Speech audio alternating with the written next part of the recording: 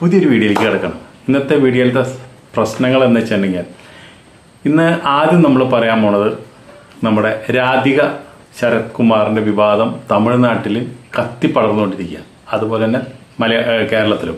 അതിനെപ്പറ്റിയുള്ള നിജസ്ഥിതി നമുക്ക് പറയണം. പിന്നെ ഇന്നലെ സംഭവിച്ച കാര്യങ്ങൾ എന്താണെന്ന് വെച്ചിട്ടുണ്ടെങ്കിൽ മമ്മൂട്ടി ഫേസ്ബുക്കിലൂടെ ഈ പുറത്തു വന്നിരിക്കുന്നു. അതിനെക്കുറിച്ച് മമ്മൂട്ടിയെക്കുറിച്ച് മമ്മൂട്ടിയുടെ ബുദ്ധിയെക്കുറിച്ച് നമുക്കൊന്ന് സംസാരിക്കാനുണ്ട്. അപ്പോൾ ആദ്യം നമുക്ക് രാധിക ശരത് കുമാറിന്റെ വിഷയത്തിലേക്ക് കിടക്കാം. അപ്പോൾ എന്താണ് രാധിക ശരത് കുമാർ പറഞ്ഞത് എന്താണെന്ന് വെച്ചിട്ടുണ്ടെങ്കിൽ നമ്മൾ പോസ്റ്റൊക്കെ ഇട്ടുണ്ടായിരുന്നു എന്താ കാരണം എന്ന് വെച്ചിട്ടുണ്ടെങ്കിൽ ഈ വിഷയം നമ്മളെ രാധിക ശരത് കുമാർ നമ്മളിപ്പോൾ ഈ അടുത്ത കാലത്ത് രണ്ട് മലയാള പടത്തിൽ അഭിനയിച്ചിരിക്കുന്നത്. ഒന്ന് ഇട്ടിമാണി. അതുപോലെ തന്നെ രാമലീല. ഈ രണ്ട് പടത്തിൽ അഭിനയിച്ച അവർ ഇപ്പോ ഇവിടെ ഈ രാധിക ശരത് കുമാർ അഭിനയിക്കുമ്പോൾ ഈ രണ്ട് സിനിമകൾ അഭിനയിക്കുമ്പോൾ ഈ രണ്ട് സിനിമകളിൽ നമ്മൾ സംശയിക്കാം. ഇതിൽ യഥാർത്ഥത്തിൽ ഏത് സിനിമ ലൊക്കേഷനിലാണ് ഈ അനുഭവം ഉണ്ടായത് എന്നാണ് നമ്മൾ പരിശോധിക്കുന്നത്.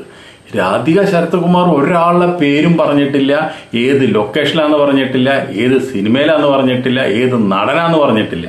അതിനെക്കുറിച്ച് ഇപ്പോൾ കേസ് വന്നിട്ടുണ്ട്. കേസ് എടുത്ത് അന്വേഷണം നടക്കുന്നില്ല അങ്ങനെ ഒരു സംഭവം നടന്നെങ്കിൽ അത് അറിയണ്ടേ? വളരെ വലിയൊരു ക്രൈമാണത്. അപ്പോൾ അത് അന്വേഷിക്കാനായിട്ട് പോലീസ് ടീം തീരുമാനിച്ചിട്ടുണ്ട്. കേസ് ഫയൽ ചെയ്തു. അത് അവർ നോക്കുന്നുണ്ട്. പക്ഷെ എന്നിരുന്നാലും നമ്മൾ സോഷ്യൽ മീഡിയയിൽ മാധ്യമപ്രവർത്തക ഒരു സ്ത്രീയാണ്. ആ സ്ത്രീ വലിയ മാധ്യമപ്രവർത്തകന് നല്ല പേര് കേട്ട ആളാണ്. ഒരുപാട് വിവാദ വിഷയങ്ങളിലൊക്കെ റിപ്പോർട്ട് ചെയ്തുള്ള ഒരാളാണ്. പക്ഷെ ആളുടെ ഒരു ഫേസ്ബുക്ക് പോസ്റ്റിലും ഈ സോഷ്യൽ മീഡിയയിൽ നമ്മൾ കണ്ടത് എന്താ വെച്ചിട്ടുണ്ടെങ്കിൽ ഈ സംഭവം നടന്നത് അങ്ങനെ ഡയറക്റ്റായിട്ട് പറയണമൊന്നുമില്ല പക്ഷെ എന്നിരുന്നാലും ഇട്ടിമാണിയിലാണ് അതുപോലെ തന്നെ ഇങ്ങനെ നടന്നതെന്ന് പറയുന്നുണ്ട്. അപ്പോൾ ഇങ്ങനെ ഇട്ടിമാണിയിൽ നടന്നു കഴിഞ്ഞാൽ പിന്നെ അങ്ങനെ നടക്കുമ്പോൾ എല്ലാവരും വിശ്വസിക്കുക എന്താണ്? ആ മോഹൻലാലിന്റെ എത്തിക്കണ് എല്ലാവരും കഴിച്ചുണ്ട്. കാരണം മോഹൻലാൽ ഇങ്ങനെ ഇങ്ങനെയുള്ള കാര്യങ്ങളിലൊക്കെ ചെന്ന് ചാടിയിട്ടുണ്ടാവും എന്ന് വിചാരിച്ചിട്ട് മോഹൻലാൽ എന്നുള്ള ഒരുപാട് കോമഡിക്കാരൻ മോഹൻലാൽ കോമഡി പറയും അതുപോലെ തന്നെ ചിരിക്കും അപ്പൊ ഇതിൽ പറഞ്ഞിട്ടുണ്ട് ഈ കേരമനിലെ സീക്വൻസ് സീൻസുകൾ കണ്ട് ഇവർ പൊട്ടിച്ചിരിക്കുക നടന്മാരെന്നുള്ളത്. അപ്പൊ അതുകൊണ്ട് അതുപോലെ തന്നെ അമ്മ സംഘടനയുടെ മുമ്പിൽ നിൽക്കുന്ന മോഹൻലാലിന്റെ ഒരു ഫോട്ടോ അതിൽ വെച്ചിട്ടുണ്ട്. ശരിക്കും പറഞ്ഞ അമ്മ സംഘടന ഇപ്പം ഇല്ല. അതുകൊണ്ട് നമുക്കത് വിട്ടുകളയാം അപ്പൊ അങ്ങനെ ഒരു ഫോട്ടോ വെച്ച് ഇങ്ങനെ ഒരു ഇത് വരുമ്പോൾ സ്വാഭാവികമായും നമ്മൾ പ്രേക്ഷകര് അത് മോഹൻലാൽ തന്നെ അത് മോഹൻലാൽ തന്നെ എന്ന് പറയും. പക്ഷെ ഞാൻ പറയട്ടെ ഈ സംഭവം നടന്നത് ഈ ഇട്ടിമാണിയിലല്ല ഈ സംഭവം നടന്നത് നമ്മുടെ രാംലീലയിലാണ്.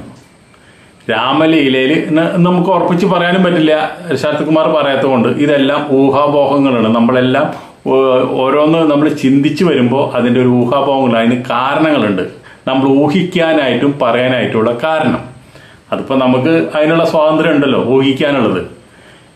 എന്താ കാരണം എന്ന് വെച്ചിട്ടുണ്ടെങ്കിൽ ഈ രാമലീല ഷൂട്ടിംഗ് നടക്കുമ്പോൾ അവിടെ കേരവനിൽ നമ്മുടെ രാധിക ശരത് കുമാർ കേരവനിൽ ഒരു റൂം കൊടുത്തിട്ടുണ്ട്. അവിടെ രാധിക ശരത് കുമാറും അസിസ്റ്റന്റും കൂടി താമസിക്കുന്നു. അത് കഴിഞ്ഞ് രണ്ട് റൂം വിട്ടിട്ടാണ് മുകേഷ് ആ പടത്തിൽ അഭിനയിച്ചിട്ടുണ്ട് മുകേഷ് ദിലീപ് സിദ്ദിഖ്.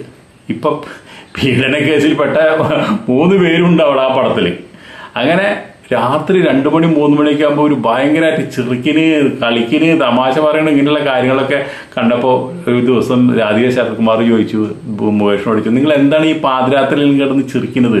ഇങ്ങനെ തമാശ ഇങ്ങനെ കിടന്ന് ഓളി ഉണ്ടല്ലോ എന്താണ് നിങ്ങളുടെ കാര്യം? സ്മോൾ അടിച്ചതാണോ ചോദിക്കുമ്പോൾ ഏയ് അതൊന്നല്ല.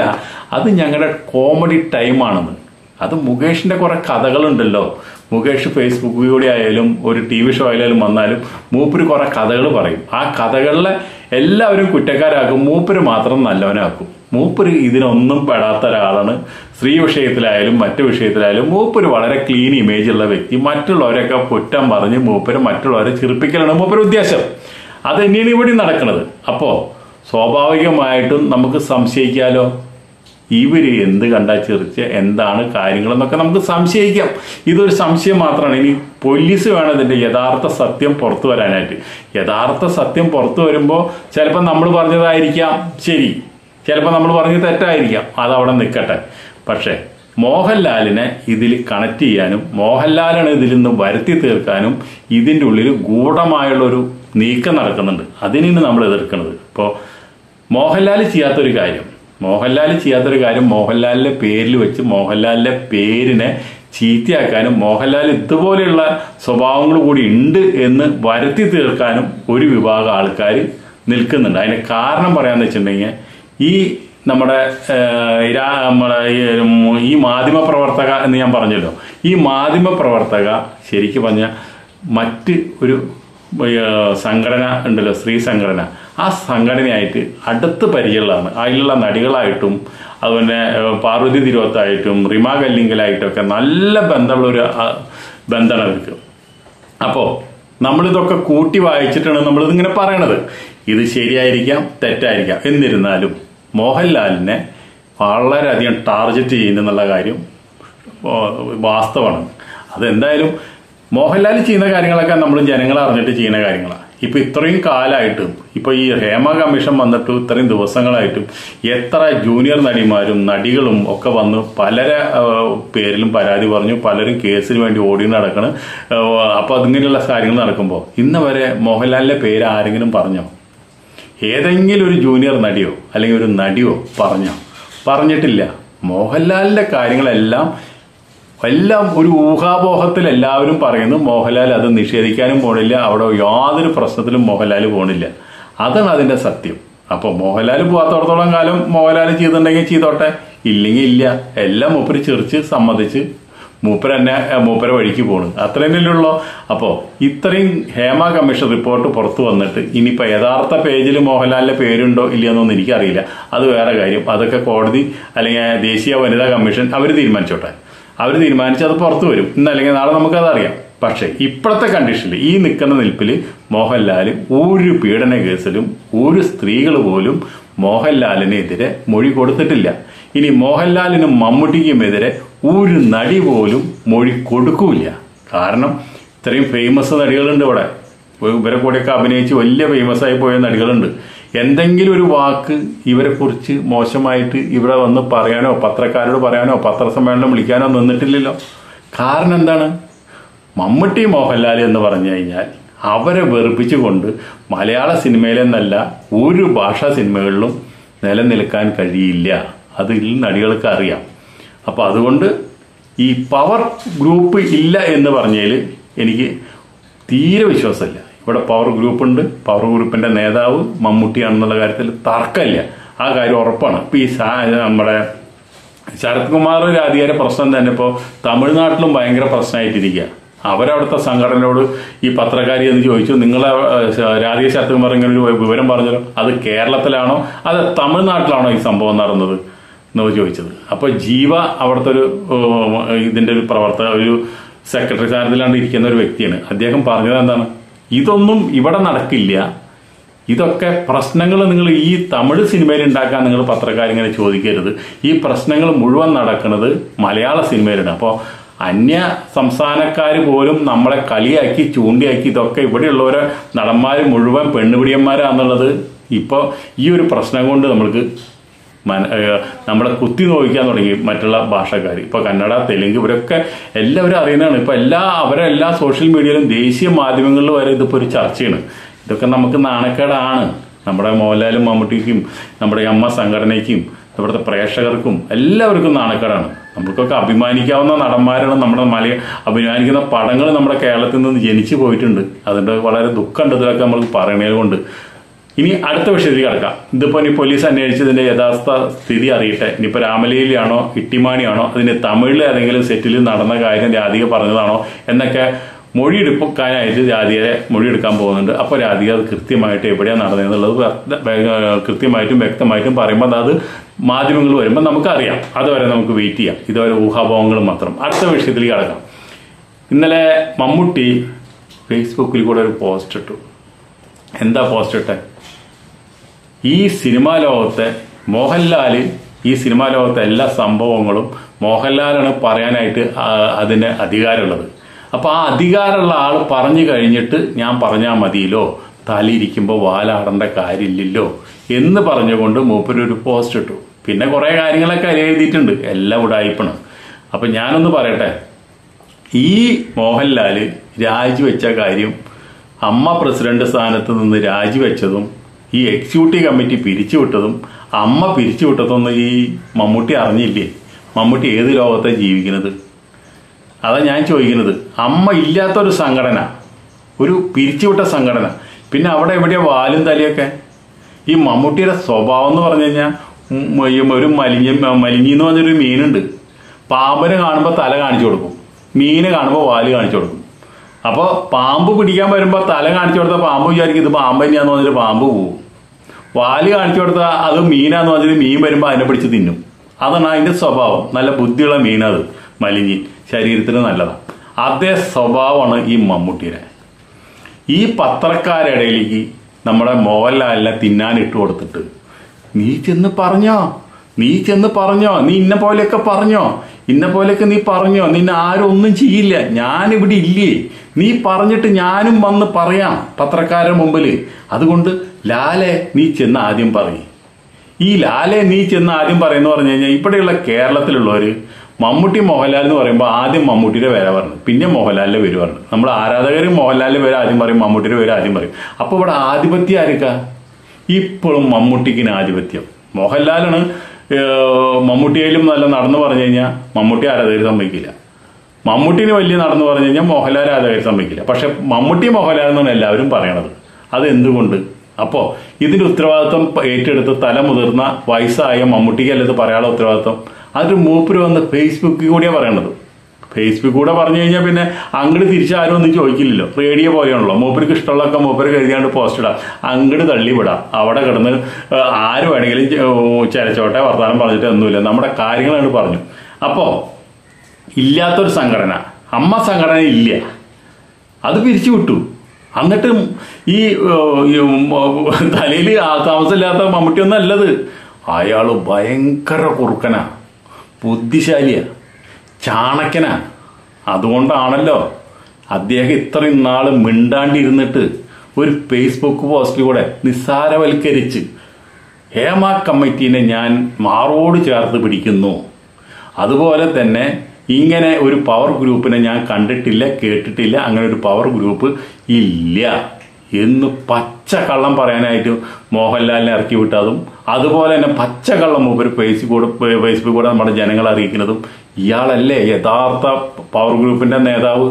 ഇയാളല്ലേ ഇല്ല എന്ന് പറയുന്ന നേതാവ്?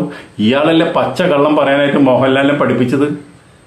അപ്പൊ ഇതിന്റെ എല്ലാം ഇനിയിപ്പോ മോഹൻലാൽ പ്രസിഡന്റായ അമ്മ സംഘടനയെ തന്നെ പിന്നിൽ നിന്ന് ചരട് വലിക്കുന്നത് മമ്മൂട്ടിയാണ് മമ്മൂട്ടി പല നടികളിൽ കഞ്ഞുടി മുട്ടിച്ചുള്ളതാണ് പല നടികൾ ഏതെല്ലാം സിനിമകളിൽ അഭിനയിക്കണം ഏതെല്ലാം സിനിമകളിൽ ഇന്ന നടികൾ വേണ്ട എന്നുള്ളതൊക്കെ മൂപ്പര തീരുമാനിക്കുന്നത്.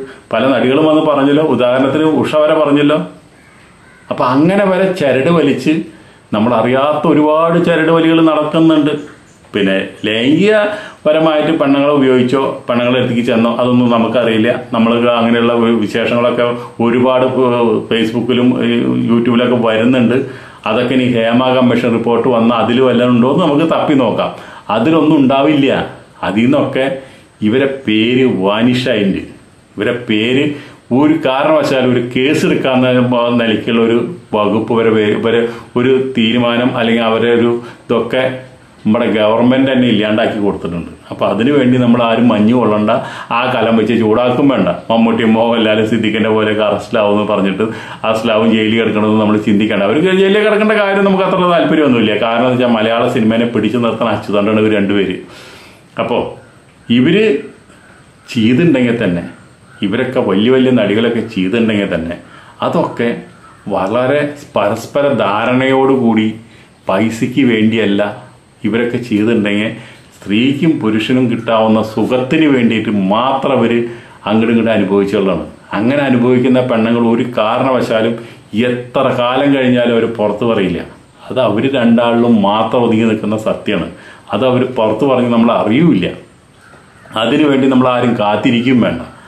ഇവിടെയുള്ള വലിയ വലിയ നടികളൊക്കെ ഇതുപോലെ പീഡന പരമ്പരകൾ പറയാൻ തുടങ്ങി കഴിഞ്ഞാൽ ഇന്നിപ്പോ സിനിമയിലുള്ള എല്ലാ നടന്മാരും പോയി ജയിലിൽ കിടക്കേണ്ടി വരും ചപ്പാത്തിയും പരത്തിയിട്ട്. അപ്പൊ അതൊന്നും നമ്മൾ പ്രതീക്ഷിക്കുന്നില്ല. അതിനൊന്നും ആവശ്യമില്ല. പക്ഷേ നമ്മൾ ഒറ്റ കാര്യം പറയുന്നുള്ളൂ. പുതുമുഖമായിട്ട് ഒരു നടി വരുമ്പോൾ അവർക്ക് ജോലി ചെയ്യാനുള്ള ഒരു സ്വാതന്ത്ര്യം അവിടെ സിനിമാ ലോകത്ത് ഉണ്ടാക്കുക. അത്ര മാത്രം നമ്മൾ പറയുന്നുള്ളൂ. ഏത് പാതിരയ്ക്ക് അഭിനയിച്ച് അവർക്ക് പോയി സുഖമായി കിടന്നുറങ്ങി ആരും വാതിലും മുട്ടാണ്ടും തുറക്കാണ്ടും നിന്ന് നേരം എടുത്ത് നിന്ന് ഷൂട്ട് ചെയ്യാനുള്ള ഒരു ആ സാഹചര്യം ഹേമ കമ്മീഷനിൽ ഉണ്ടാക്കുമെന്ന് പ്രതീക്ഷിക്കുക. അത്ര മാത്രമേ പറ്റുള്ളൂ. അപ്പൊ അതേപോലെ തന്നെ ഈ ഹേമ കമ്മീഷൻ റിപ്പോർട്ടിന്റെ യഥാർത്ഥ രൂപം ദേശീയ വനിതാ കമ്മീഷൻ ചോദിച്ചിട്ടുണ്ട്. ആ ദേശീയ വനിതാ കമ്മീഷൻ ചോദിച്ചാൽ അവിടെ അത് കൊടുത്തു കഴിഞ്ഞാൽ അവിടെ ഇതിന്റെ യഥാർത്ഥ പേരുകളും ഇനി കുറെ വരും. ഇപ്പൊ പൊട്ടിയതൊക്കെ തൃശ്ശൂരിന്റെ വെടിക്കെട്ടിന്റെ സാമ്പിളാണ് ഒറിജിനൽ വെടിക്കെട്ട് വരാതിരിക്കണുള്ളൂ അപ്പോൾ ആ വെടിക്കെട്ടിന് വേണ്ടി നമ്മുടെ കേരള ജനത കാതോർത്തിരിക്കുക. ഇത്ര നമുക്ക് പറയാനുള്ളൂ. ഒരുപാട് പരിപാടികളുടെ കഥ. ഒരുപാട് ഇതുകളെ കഥയൊക്കെ തന്നെ നമ്മുടെ എം ഒ ദേവസ്യ എന്ന് പറഞ്ഞൊരു മേക്കപ്പ് മാൻ ഉണ്ട്. ഐ വി എസിയുടെ കൂടിയുള്ളതാ. അദ്ദേഹം എല്ലാ കഥകളും അദ്ദേഹം ഒരു പുസ്തകമാക്കി പലരോടും പറഞ്ഞിട്ടുമുണ്ട്. അന്ന് മുതൽ ഇതൊക്കെ ഇവിടെ സർവസാധാരണമാണ്. ഇതിലൊന്നും ഒരു അത്ഭുതം പെടേണ്ട കാര്യമില്ല. അതുപോലെ തന്നെ ഈ ഈ സിനിമാ ലോകമായിട്ട് ജയന്റെ കൂടെ മേക്കപ്പ് മാനായിട്ട് ജയന്റെ ഒരു മോഹൻ എന്ന് പറഞ്ഞിട്ടൊരു ആളുണ്ട്. ആൾ എന്റെ നാട്ടുകാരനാണ് നമ്മുടെ വീടിന്റെ അടുത്ത മൂപ്പര വീട്. അപ്പോൾ ജയൻ മരിക്കുന്ന വരെ ആളാണ് മേക്കപ്പ് മാൻ അത് കഴിഞ്ഞിട്ട് മൂപ്പര് വേറെ നടന്മാരെ കൂടെ പോയി. അപ്പോൾ സിനിമാ ലോകത്ത് നടക്കുന്ന എന്തൊക്കെ കഥകളുണ്ട് ഏതൊക്കെ വിശേഷങ്ങളുണ്ടെന്നൊക്കെ അദ്ദേഹം നാട്ടിൽ വരുമ്പോഴും ഒക്കെ നമ്മൾ അദ്ദേഹം കുറേ കഥകൾ നമ്മളോട് പറഞ്ഞിട്ട് അതൊന്നും യൂട്യൂബിലൂടെ പറയാൻ കൊള്ളില്ല. അതൊക്കെ വലിയ വലിയ വിഗ്രഹങ്ങൾ ഉടഞ്ഞു വിടും. അപ്പോൾ അതുകൊണ്ട് അതിലേക്കൊന്നും നമ്മൾ കിടക്കണില്ല അതൊക്കെ വലിയ പ്രശ്നമായിട്ട് മാറും. അതൊക്കെ അവിടെ തന്നെ കിടന്നോട്ടെ. ചാരം മൂടി കിടക്കണമെന്ന് മാന്തി എടുക്കേണ്ട കാര്യമില്ല. ഇപ്പം ഈ ഒരു കമ്മീഷൻ റിപ്പോർട്ട് വന്ന കാരണം. അപ്പോൾ ഈ രണ്ട് കാര്യങ്ങൾ പറഞ്ഞുകൊണ്ട് മോഹൻലാലിനെ കുറ്റപ്പെടുത്താൻ ഒരു വിഭാഗം ഇവിടെ ഉണ്ട് എന്ന് പറഞ്ഞുകൊണ്ടും ഇവിടെ മമ്മൂട്ടി മോഹൻലാൽ എന്ന് പറഞ്ഞ നിലയിൽ മമ്മൂട്ടിക്ക് ആധിപത്യം കിട്ടാനും മമ്മൂട്ടി ക്ലീൻ ഇമേജ് നിൽക്കാനും വേണ്ടിയിട്ട് മോഹൻലാലിന്റെ മുഖത്ത് പച്ചചാണം വലിച്ചെറിയുന്ന ഒരു സ്വഭാവം മമ്മൂട്ടിക്കും ഉണ്ട്. അതിന് ഏറ്റവും വലിയ ഉദാഹരണമാണ് ഇല്ലാത്ത സംഘടനയ്ക്ക് വേണ്ടി മൂപ്പര് ഫേസ്ബുക്ക് പോസ്റ്റ് ഇറക്കണം. മോഹൻലാൽ പറഞ്ഞിട്ട് ഞാൻ പറഞ്ഞാൽ മതി എന്ന് വെച്ചാൽ ഞാൻ ഇത്ര നാൾ എന്റെ വീട്ടിൽ അടയിരുന്നേന്ന് പറഞ്ഞത്. ഏറ്റവും വലിയ കളവാണ് ഈ മമ്മൂട്ടി എന്ന് പറഞ്ഞാൽ കുടിക്കിന്റെ വെള്ളത്തിൽ വിശ്വസിക്കാൻ പാടില്ല. ഇങ്ങനെയുള്ള വർത്തമാനങ്ങൾ പറയണ കാരണം. നമ്മുടെ കൂടെ നിൽക്കുന്ന സഹപ്രവർത്തകരെ നിന്നും ഈ ജനങ്ങളെ മൂപ്പര് തെറ്റിദ്ധരിപ്പിക്കുന്നത്.